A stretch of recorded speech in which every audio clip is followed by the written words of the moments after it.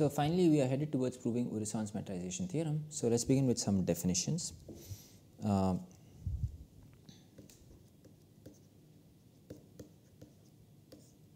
right. So topological space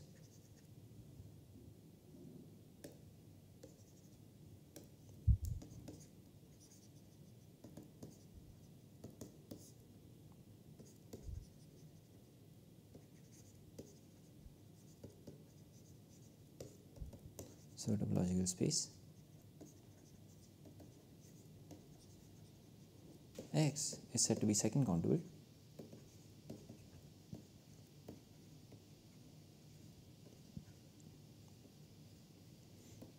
if it has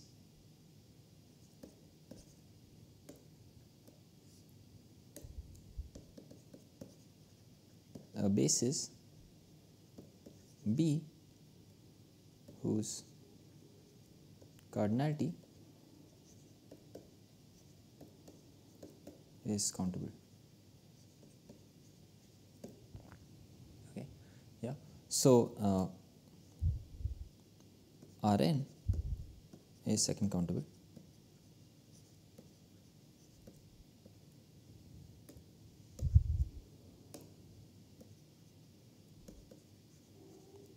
Right, because uh, we can take uh, open subsets of the type balls uh, A of radius epsilon where epsilon belongs to rationals and this vector A belongs to Qn right. So this is this forms a basis and this is going to be a countable collection. So therefore Rn is second countable and uh, if X is second countable then every subspace of X is second countable.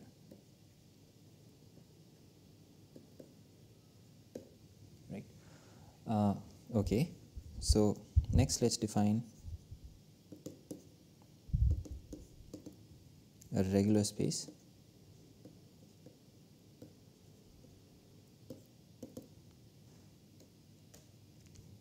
Right. So topological space.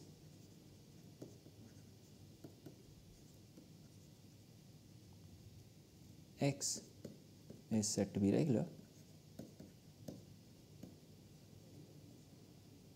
If given a point x and a closed subspace A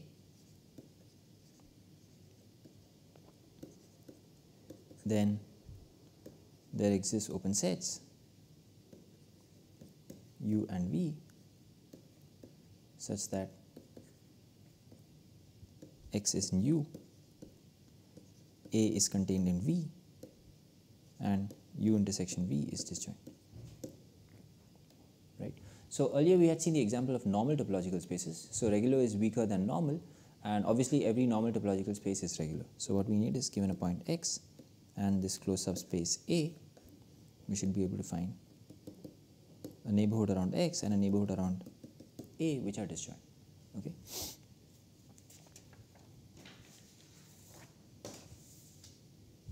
So, obviously normal implies regular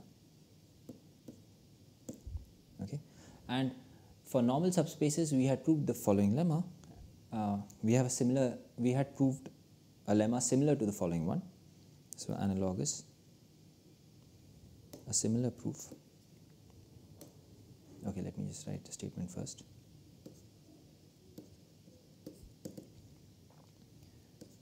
Let X be a regular space. And let X in U where U is open right. So then we can find an open subset V such that x is in V which is contained in V closure which is contained in U. Right. So what do we have? We have a point x over here and we have an open subset U. So then we can find a smaller neighborhood of x which is V such that the closure of V is completely contained inside U. Right. And the proof uh, we had proved a similar lemma for normal spaces right so there instead of x we had a closed subset a. We had a closed subset a and an open subset open set u which contained a. So imitate that proof. The proof there. Okay. So the main theorem we want to prove is the following. The main theorem of this lecture.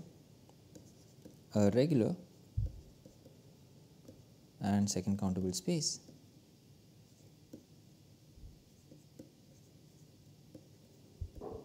is normal. Okay, so let us prove this. Right. So let B denote a countable basis for x. So let's say our space is x, right? So x is second countable, so that means by definition x has a basis whose cardinality is countable, right? So let C and D be two disjoint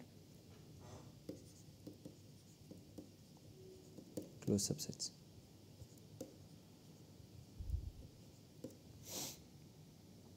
Right. So we need to find open sets u and v such that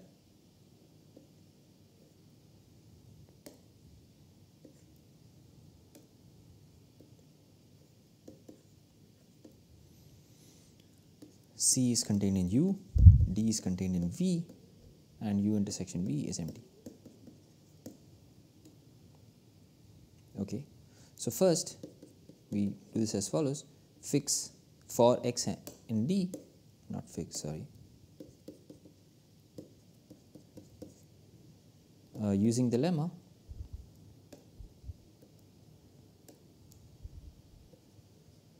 using the lemma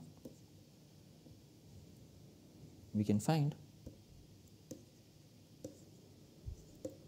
uh, an open set V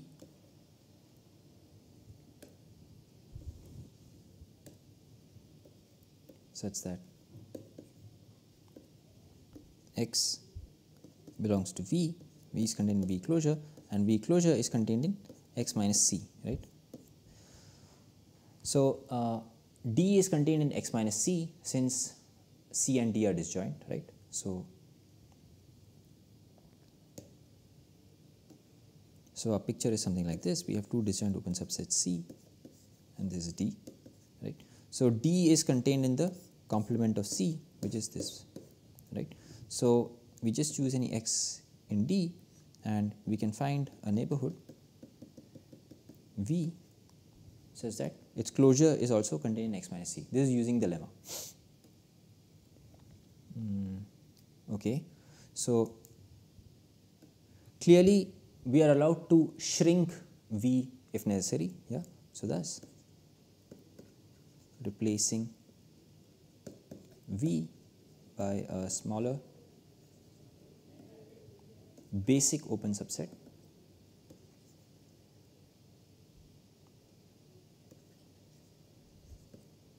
we may assume so we have a basis for our topology and uh, that V is in V.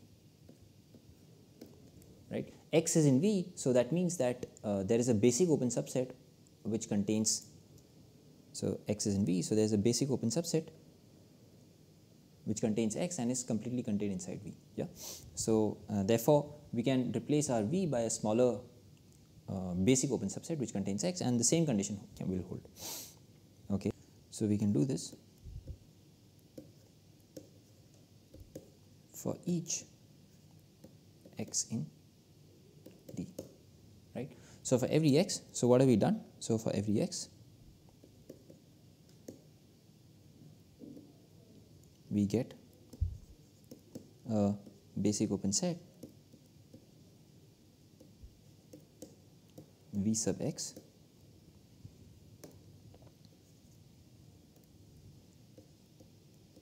such that so this is in B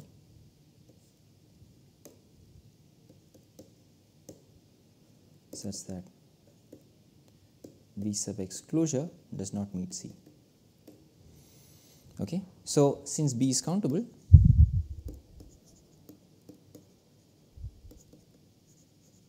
we may enumerate enumerate this collection Vx.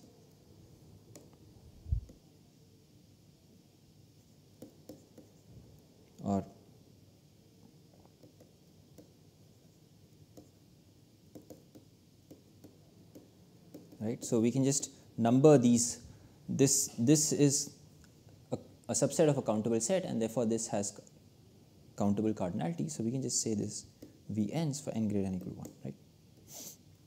So, now define W n to be equal to the union i equal to 1 to n V i's right. So, then what do we have? We have this W1 is a subset of W2 and so on. It is an increasing chain of open, increasing chain of open subsets.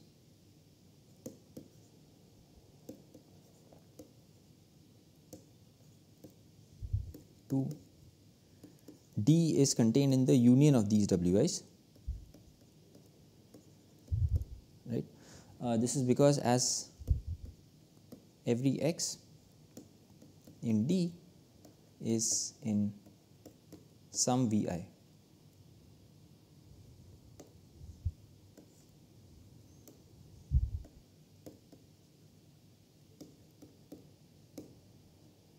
right and the third condition is that W closure this is equal to union i equal to 1 to n Vi closure sorry W closure intersection C intersection C. Now, there is a finite union and therefore, uh, the closure will go inside Vi closure intersected C and each Vi closure intersected C is empty. So, this is empty right. So, we can do the same for points of C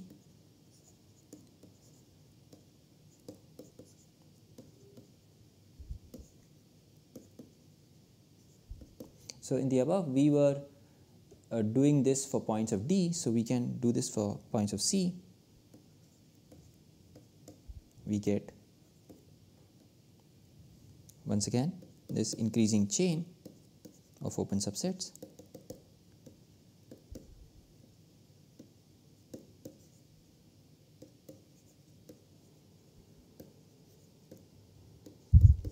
C is contained in the union of these and 3 un closure intersected with D is empty. Okay. Okay. So, uh, note that this implies that D is contained in x minus un closure. So, this implies that when we intersect both sides with W, we get W n intersected D is contained in W n minus Un closure. Right. So, this implies that the union W n intersected D is contained in the union W n minus Un closure. Now, W n is open and un closure is closed. So, when we look at wn minus un closure this is an open subset right and uh, this union is equal to uh, union n greater than equal to 1 wn intersected with d but as d is contained in this union this is going to be equal to d right. So, so thus we get d is contained in the union of this open sets and similarly C will be contained in the union of un minus wn closure. Okay. So we claim that these are the required open subsets. Yeah. So we so we just have to show that the intersection is empty. So we claim that the intersection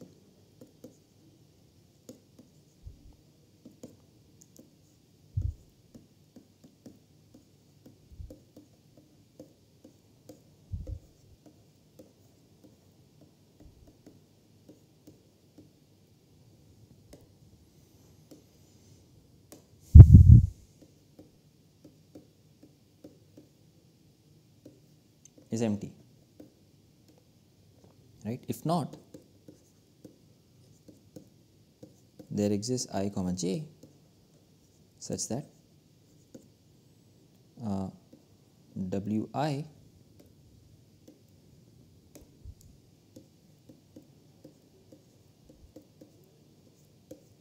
intersected with uj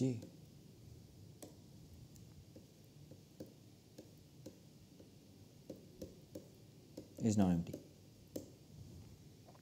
Right. Uh, so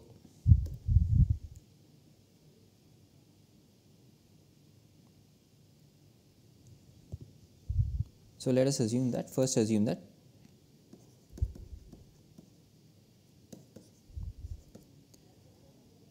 i is greater than equal to j right wi wj is contained in wi and uj is contained in ui right? So if we take an x in the intersection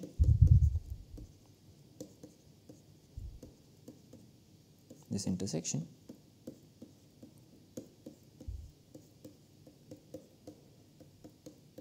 right? So this implies that uh, x is in x is in uj but x does not belong to ui closure right? But this implies that x is in uj but and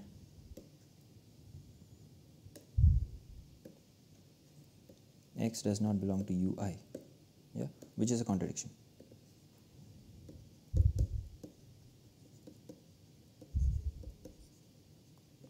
Right. So similarly, if j is greater than equal to i, uh, then we will have wi is contained in wj uh, so which will imply that x belongs to wi and so this will imply that x does not belong to wj closure. X that is x is in wi and x does not belong to wj which is a contradiction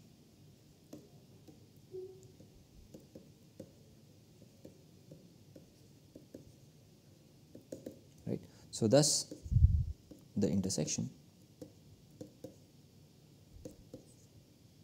is empty. So, this completes the proof of the theorem.